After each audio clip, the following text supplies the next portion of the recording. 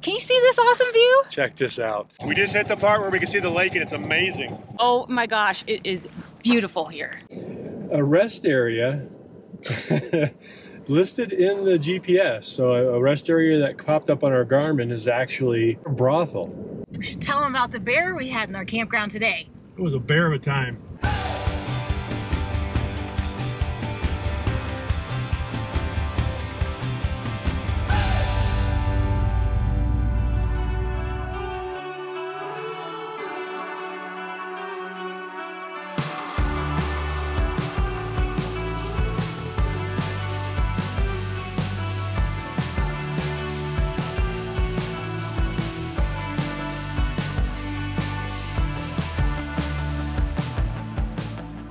San Diego and we headed to South Lake Tahoe. Yeah, we had never been there, so we were really looking forward to it. It took us two days to get there because it was over 550, 600 something miles. Mm.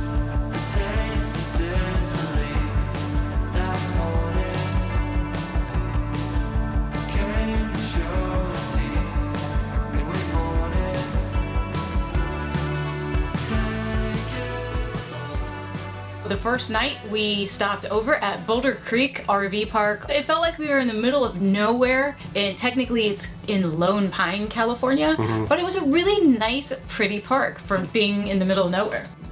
Ready to roll? Let's do it. Okay. I'll clean this spot right here. Yeah. Now we're good. Okay. we like to split our two-day travel days up, so the second day is usually shorter, so it's kind of like, woohoo, we're there in shorter time. Usually. Usually, but this time was a little bit different. We're encountering a new problem, something we've never had to face in three, over three and a half years. Fire.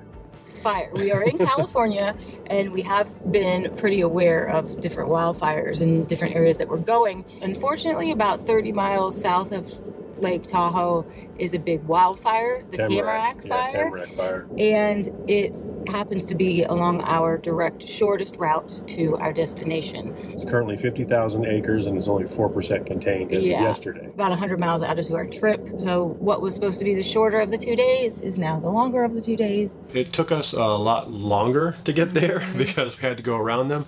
It can be difficult to know what roads are going to close or have reopened. Uh, so we just kind of went around the whole thing and came in from the east side. We did a lot of research before traveling on that second day too. We wanted to find out where the fires were, what roads were blocked off, and sometimes the GPSs don't have the up-to-date fire lane road closure stuff Yeah. either.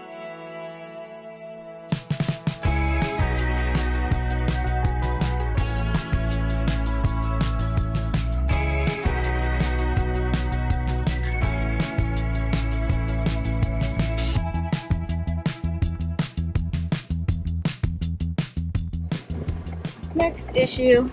Oh, we just turned on 168. Daisy sit. Yeah. Daisy sit.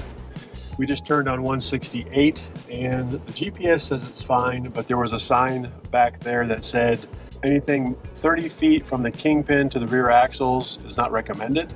We're probably a little less than that, but I don't think I want to take this road just to be safe. How the Um, heck are we going to turn look- around on this road? I can just, I can UE right here, but I'm gonna go up 395 to six and let it reroute. I don't like the idea of having to make a UE. I mean, you see all these posts and stuff along the side here, right? Yeah.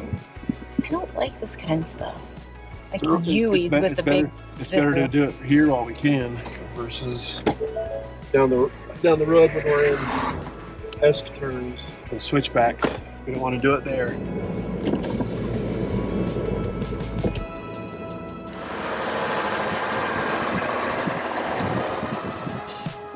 Like a boss. No problem. I have to go super super slow on something like that because the, the triple axles just drag. Oh, yeah. We actually left skid marks back there. Tires drag. Yeah, That's not good for the tire. you know, it's something you don't want to do often if you can avoid it.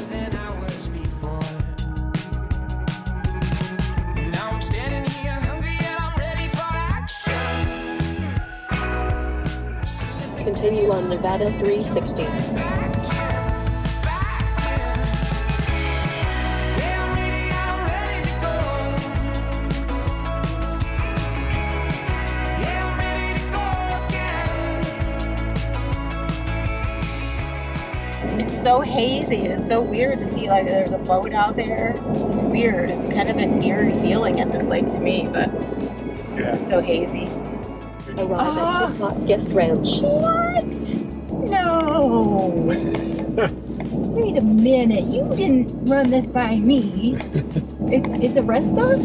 So it's listed as a rest stop. Kit Kat It's the Guest red light Ranch. district. Shut up. Wait, is this a is this a Turn, just turn around here.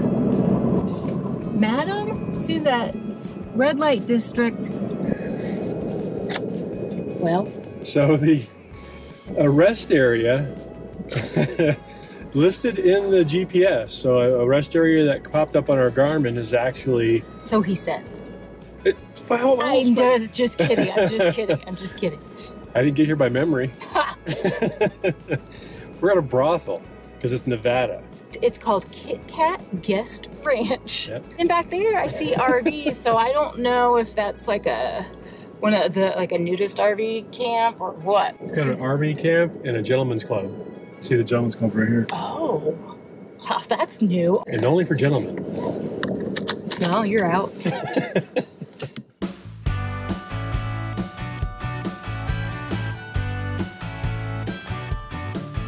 the air is filled with smoke. You can see it, and I can certainly smell it. So we only have 18 miles to go until our destination, so that worries me a little bit. This is quite the road for the to drive the RV on, huh? Holy crap! Look. I also think that this road is really pretty and it'd be really good on the motorcycle, but it's a little scary to me to be towing the RV on it. That's why I'm not the driver.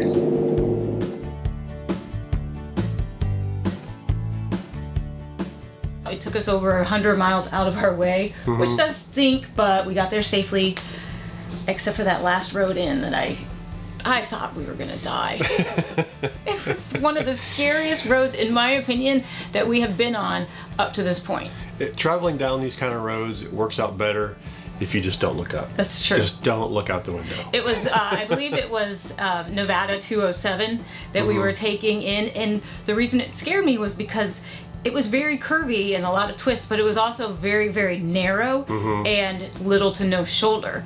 Tight turns, Yeah. Tight lanes, scare me to death. Yeah. With a big fifth wheel like this, it's no different than like a big semi tractor trailer. You're going to have to use both lanes sometimes, and people are just going to have to kind of deal with it.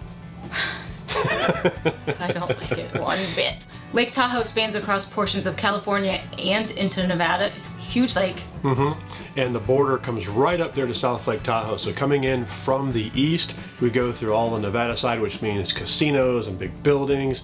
And then all of a sudden, state line, boom, it stops. Yeah, it's totally different. Like once you cross the state line, it feels different. It looks It's different. totally different. It's less. I don't want to say less commercialized because there's still a lot of stuff because it's a Mm-hmm. highly populated vacation destination. But there's no real big tall casinos and all that stuff. So it was it had a different feel. Yeah, it's an immediately a much better feel, I think. yeah. And then we finally made it to our campground, which was Tahoe Valley Campground. It is a Thousand Trails Mm-hmm. property, and this place was enormous. Yeah, and we were getting in on a Thursday, so that means, you know, people that go out for long weekends are just getting in. It's a little busier. Fridays are usually busiest. Yes. For campgrounds on the weekends during the summer. There are over 400 sites at this campground, yeah, this place is huge. and it's a great park for families, a great park for kids because there's a lot of stuff for the kids to do, Mm-hmm. a lot of stuff for the families to do. Once we get up there, we have to get the motorcycle out of the back. So he says, It's pretty tight up there. Are you ready for this? you know, the trees are amazing and they're beautiful Oh, yeah. and so tall. The only part that was bad about that, it was maneuvering around to get to our site. So that Mm-hmm. was a little bit tight. And then we got to our site, and the site itself was a little odd, only because it was at a strange angle. It was big, though. It was nice. It was a nice sized site, but it was just an awkward angle. So it took a lot of, you know, the back and forth and the wiggle and doing all of that to get in. There's one part where you can see that you have about this much space between the RV and one of those enormous trees.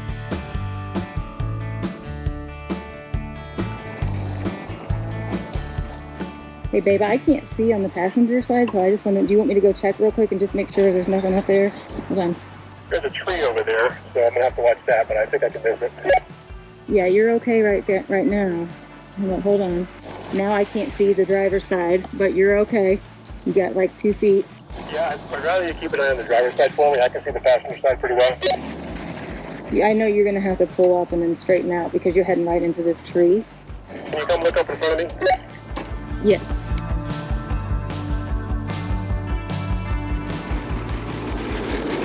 I'm gonna go back just to catch more. Okay, well, just know you only have like 10 feet to hit that tree. Because there's only one of me to be able to watch. And I'm running back and forth from side to side to make sure he wasn't hitting something over here, something over here.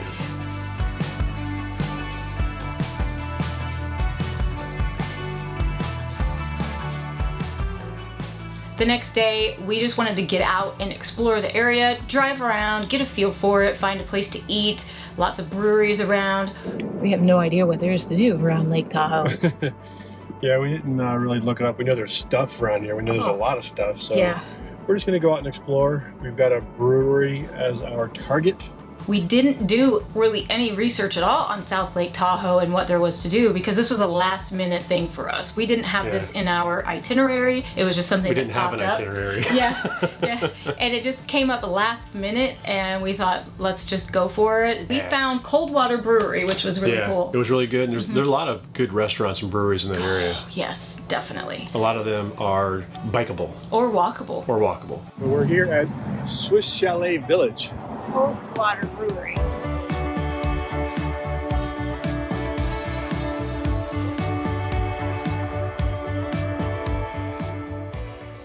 Those are good. Are they? I'll be the judge of that. Oh yeah.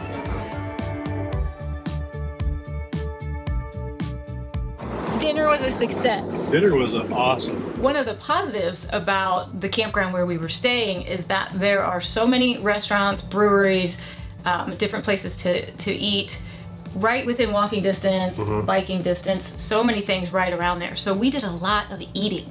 Yeah, which we never do. We never eat. We did significantly more dining outside of the RV in this trip though. Yeah. Speaking of this campground and its location and proximity, it's huge. It's 439 sites. I think there are even some cabins, some like six-person cabins and four-person cabins. Yep, and there's different sections throughout the campgrounds, and they have large areas for tent campers, which is kind of cool because sometimes you want to go camping and you don't have an RV, but you also want some of the amenities for the kids and stuff. Mm-hmm. And a lot of people did that on the weekends. So the tent areas were packed to the max was- on the was a- weekends for was- sure. It was a kid fest, absolutely. And Yeah. there was tons for them to do. They've got basketball, pickleball, these like huge entertainment areas where they were doing karaoke almost every night. Yeah, so they have a lot of activities Yeah. too. They have activities for the adults, activities for the kids. Mm-hmm. There are trails all around this campground. There are biking trails, walking trails, hiking trails. There's even some areas where the kids can take their bikes and do some little Oh, yeah. BMX type Uh-huh, of stuff yeah. where they're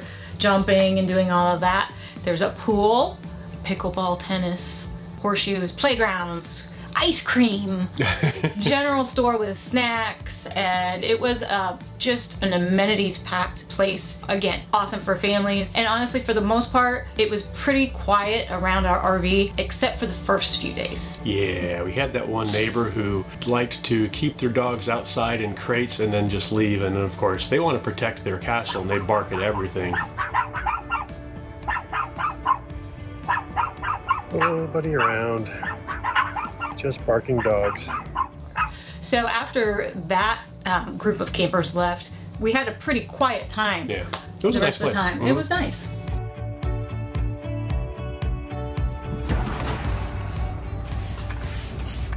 Our last site had lots of birds who decided they would relieve themselves on our patio. The birds made our patio their restroom facilities.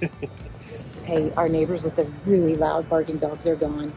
Thank goodness. We are walking distance to a couple restaurants, so we're just going to walk down the road and get some brunch. There's Bert's Cafe and Ernie's Cafe. I don't know if they're related or I not, but it's pretty funny. But Bert's Cafe, I think, is what we're going to try first. It's the one across the street, but it has more eggs Benedict for you. So I love my Benny. Yeah.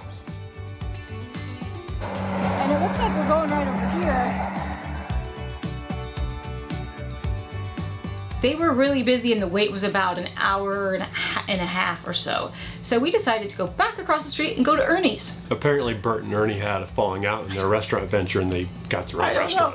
We waited about 30 minutes at Ernie's and had a wonderful breakfast and it was a really cute place. Look at the size of that biscuit. That was delicious. It's very good. Very good. A little tip the Eggs Benedict is not on the menu, but they do have it on the weekends. Yes. The drawbacks of so many wonderful, beautiful trees was they were bleeding. They were bleeding They were sap. bleeding sap. Sometimes you just wouldn't see it. It would be a big glob of it on the ground. And one time I took Daisy for a walk, and we're walking, and we're, we're getting back, and she's she's walking funny. I'm like, "What's wrong with you? Come on!" And then I get her inside, and oh, she had sap bigger than her feet on her feet. It took hours. It took me a long, It took long him a couple time. hours to cut that out. to get we that were out. trying everything, so I'm looking online and I'm like, okay, baking soda. I looked online and it said a baking soda paste helps. I think it helps a little. It said put mayonnaise on it. we got sap and baking soda and mayonnaise. Oh my gosh. so stay tuned for how we attempt to solve this problem for Daisy a little later. It's hilarious. Poor puppy. I wish we had just gone to bed instead of going for a walk. But it's like five o'clock. I don't care. So it's finally time to get Lucille out. Oh my gosh, we haven't been out on Lucille all summer, it seems like. Because we've been in Vegas and all kinds of silly Yeah. places that are too hot to get out on the motorcycle. And we're gonna go ride around the lake, get some lunch, Yes. do some do some exploring. sun came out finally and I can actually see blue sky today so I don't know if that means that the smoke has kind of dissipated from the rain. Hopefully so. Looks nice, looks nice. Let's I'm go for excited. Let's, do it. We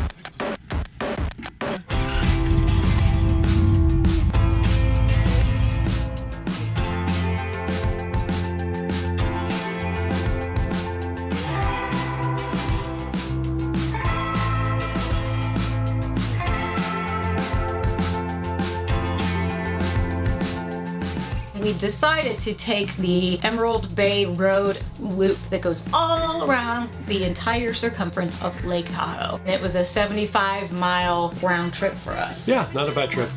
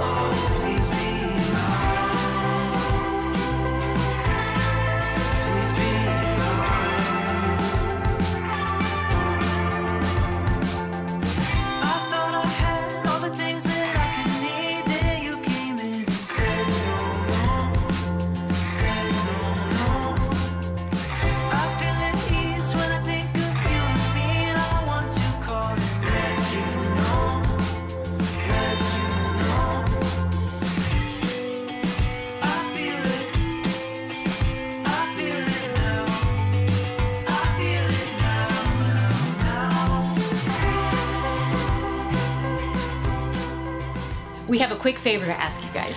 Yes, and it's really easy. If you would please click the like button and the subscribe button down below, that would help us out tremendously. It would, and it will help us to be able to continue providing this free content for you. Mm-hmm. Back to the show.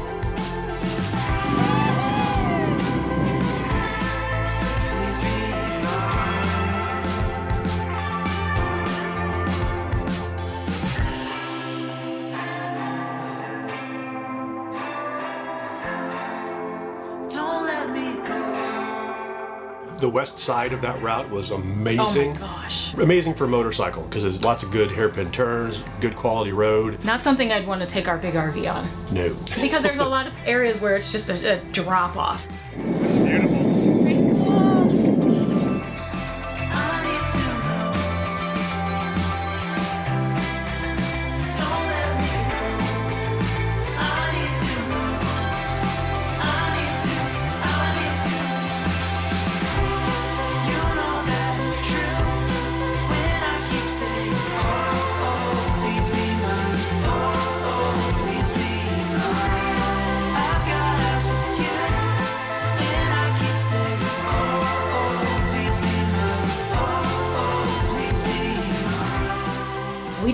Pull off on one of the uh, most scenic overlooks on that route, which was Inspiration Point, where you can look over Emerald Bay, and from there you could see Fannette Island. I think I'm saying that right.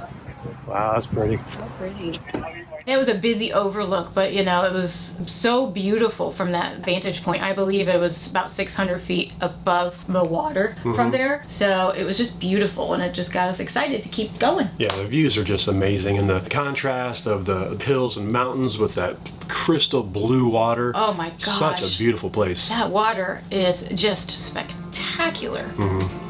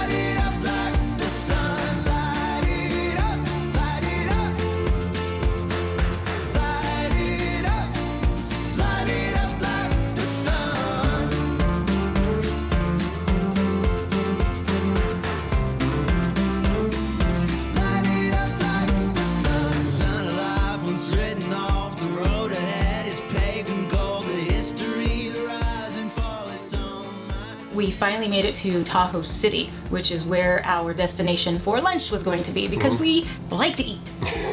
we went to Bridgetender Tavern. This place was cute. And by the time we got there, it was after a normal lunch hour, so mm-hmm. we got right in. It wasn't busy at all. This place had a very rustic, cabiny vibe to it. The food was really, really good. Little health food. Mm-hmm. Healthy. All healthy all the time. As soon as we left the restaurant and continued our clockwise tour, that's when we really noticed the traffic starting to build up because that's when we started getting into a little bit more of the heavier populated, more tourist areas. So there's a lot more traffic. So there was a oh. lot of stop, go, stop, go, stop, go. Which is stop, really go. fun on a motorcycle when you're having to, you know, do the clutch and everything. yeah. So Tahoe City took us a while to get through, but it looks like a really cute place to go on vacation in the summertime. I bet it's awesome in the wintertime.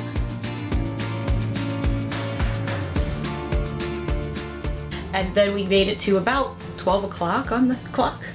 the north, On the our north- northernmost point. Yeah. And of course, that's where the state border is, and of course, that's when the casinos pop up. Crystal Bay, I think, is the first little town when you cross the state line into Nevada, and it's all of a sudden mm-hmm. casino, casino, casino, casino, like, you know, because so that way people who are staying on the California side don't have to travel very far to mm-hmm. get their gambling. It was just a stunning other side of the lake view, and the sun was a different direction. It was mm-hmm. just, it was beautiful. Yeah, the whole whole ride was just awesome.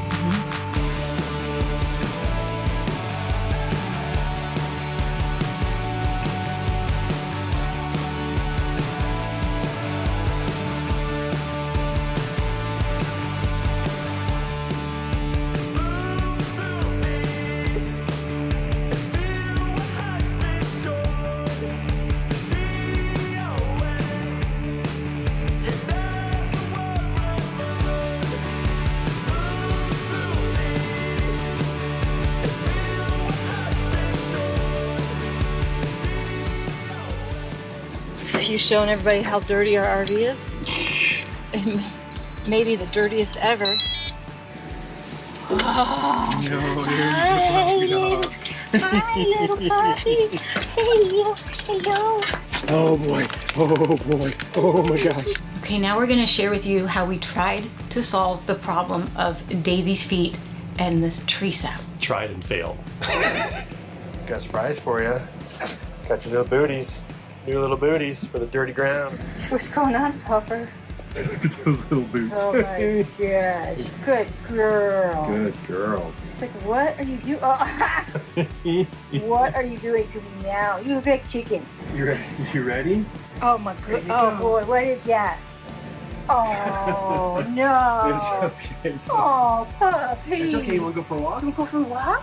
She's like, um, can you take this off of me? I have It's to. okay. You good girl? You want to get a treat? oh, Chad. The poor puppy dog. I'm so sorry. Daisy, come here. oh, I'm so sorry.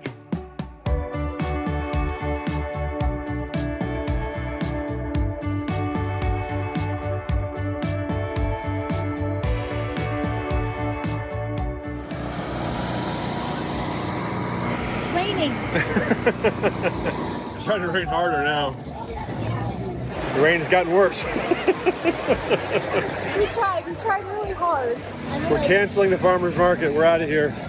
But it's a beautiful 73 degrees in Lake Tahoe, and it seems like this the air keeps getting clearer and clearer Yeah, as far nice. as the smoke and stuff. So we're Mhm. gonna try out this awesome bike trail that they have in Yeah, this there's a bunch around here. They're kind of they're kind of staggered and scattered, but there is a map that we'll share. And there's also bike trails that I don't think that they're continuous, but they go around the lake. So there's different parts of the lake where you can ride next to and Mhm. stuff. We're just gonna go from the campground and ride through town and just sort of check that out this time. There is a trail system that can take you all the way around.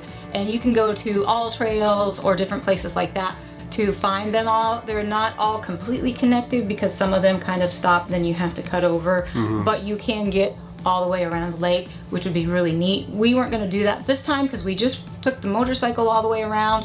what we wanted to do was go the other direction and kind of ride through town and just see what we see. Mm-hmm. And it's still pretty easily marked on the roads and the trail signs. And that's where it sometimes can get confusing. You mm-hmm. have to watch for the trails. And if you have the All Trails app, you can download the map and kind of follow that. Yeah. So it gets a little bit confusing when you're going through neighborhoods. We love our helmets because they have the Bluetooth in them. So whichever one of us is riding in front, we can say, okay, we're taking a right, or there's a car coming. They are fabulous Yeah, for e-biking, especially when you don't know where you're going and you want to communicate with the person that you're with. And you don't have to do anything weird. You just talk normally. And it, it's really good noise reduction. There's no wind noise or anything. Mm-hmm. Yeah. They're, they're really awesome. If you go to TahoeRimTrail.org, there's plenty of details about the trail in each section. There are also plenty of bike rental places in this area too. So if you don't have a bike, it's okay. They got you covered.